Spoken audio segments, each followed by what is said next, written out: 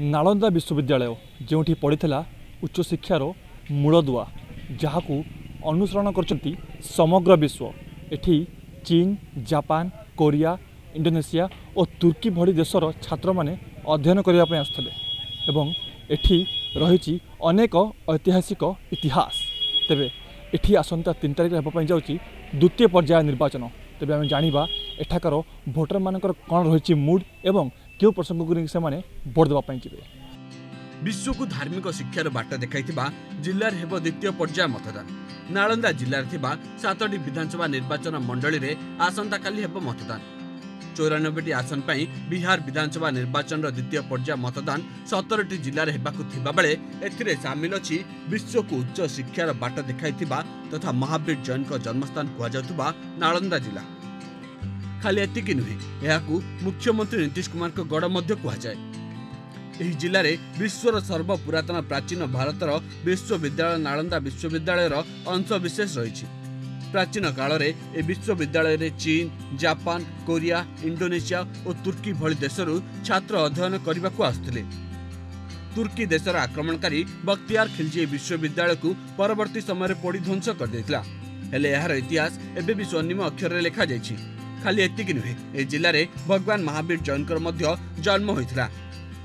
ଯିଏ ବିଶ୍ୱକୁ ଶାନ୍ତି ଅହିଂସା ସତ୍ୟର ବାର୍ତ୍ତା ଦେଇଥିଲେ।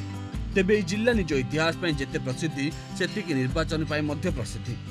କାରଣ ଏହି ଜିଲ୍ଲାକୁ ମୁଖ୍ୟମନ୍ତ୍ରୀ ନୀତିଶ କୁମାରଙ୍କ ଗୌଡ଼ ବୋଲି କୁହାଯାଉଥିବା ବେଳେ ଗତ ଦୁଇ ହଜାର ପନ୍ଦର ବିଧାନସଭା ନିର୍ବାଚନରେ ସାତଟି ଆସନରୁ ପାଞ୍ଚଟି ଆସନ ଆବାସ୍ତାନ ରାଜଗିରି ଇସଲାମପୁର ନାଳନ୍ଦା ଓ ହର୍ନଦକୁ ଜେଡିୟୁ କବ୍ଜା କରିଥିବା ବେଳେ ବିହାର ଶରୀଫକୁ ବିଜେପି ଓ ହିଂସାକୁ ଆରଜେଡି କବ୍ଜା କରିଥିଲା ହେଲେ ଚଳିତ ଥର ଜେଡିୟୁ ଏନ୍ଡିରେ ସାମିଲ ହେବା ପରେ ବିଜେପି ସହ ମିଶି ନିର୍ବାଚନ ଲଢୁଥିବା ବେଳେ ଆରଜେଡି ୟୁପିଏ ମହାମେଣ୍ଟ କଂଗ୍ରେସ ସହ ମିଶି ନିର୍ବାଚନ ଲଢୁଛି। ଅନ୍ୟପଟେ ସ୍ୱର୍ଗୀୟ ରାମବିଳାସ ପାସୱାନଙ୍କ ଦଳ ଏଲଜେପି ଏକାକୀ ନିର୍ବାଚନ ଲଢୁଛି। ସେପଟେ ପୂର୍ବତନ କେନ୍ଦ୍ରମନ୍ତ୍ରୀ ଉପେନ୍ଦ୍ର ଖୁସ୍ୱା ବିଏସ୍ପି ସୁପ୍ରିମୋ ମାୟାବତୀ ଓ ଏଆଇଏମ୍ଆଇଏର ସୁପ୍ରିମୋ ଅସୁଦ୍ଦିନ ଓୱେସି ମେଣ୍ଟ କରି ନିର୍ବାଚନ ଲଢୁଛନ୍ତି।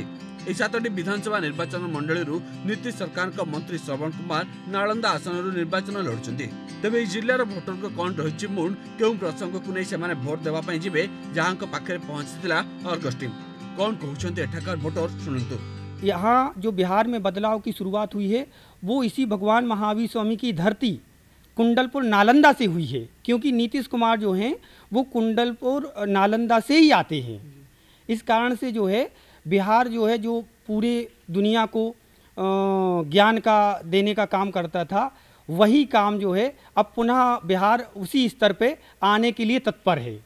जब से नीतीश कुमार आए तो गाँव में, जवार में, जिला जवार, बिहार में शांति आया। लूट झगड़ होता था उस टाइम में। वो सब बंद हो गया रात बिहार के आना जाना में लूट उट हो जाता था तो वो सब अखने बहुत नई के बराबर है समझिए ना और विकास तो थोड़ा करबे की रोड वगैरह बनता है तो विकास होता है ଆସନ୍ତାକାଲି ଚଉରାନବେଟି ଆସନ ପାଇଁ ସତରଟି ଜିଲ୍ଲାରେ ହେବ ମତଦାନ ଦୁଇ କୋଟି ପଞ୍ଚାଅଶୀ ଲକ୍ଷ ପଚାଶ ହଜାର ଦୁଇଶହ ପଞ୍ଚାଅଶୀ ଜଣ ମତଦାତା ଚଉଦଶହ ତେଷଠି ଜଣ ପ୍ରାର୍ଥୀଙ୍କ ଭାଗ୍ୟ ନିର୍ଦ୍ଧାରଣ କରିବେ ଆଉ ଦଶ ତାରିଖରେ ପ୍ରକାଶ ପାଇବ ବିହାର ବିଧାନସଭା ନିର୍ବାଚନ ଫଳ ନାଳନ୍ଦାର କ୍ୟାମେରା ପର୍ସନ ଟୁନା ମଣ୍ଡଳଙ୍କ ସହ ଇମ୍ରାନ ଖାନଙ୍କ ରିପୋର୍ଟ ଅର୍ଗସ୍ ନ୍ୟୁଜ୍